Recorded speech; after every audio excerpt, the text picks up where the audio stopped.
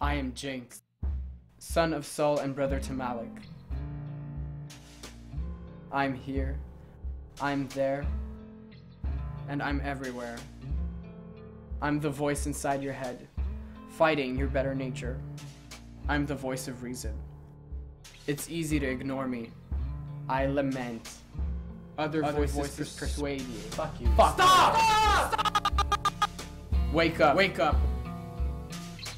Or die.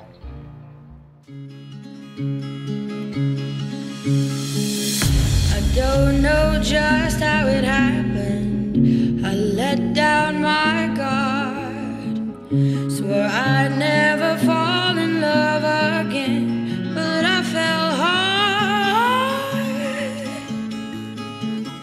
Guess I should have seen it coming. Caught me by surprise. Wasn't looking where I was going. I fell into your eyes. You came into my crazy world like a cool and cleansing rain. Before I, I knew what hit me, baby, you were flowing through my veins. I'm addicted to you.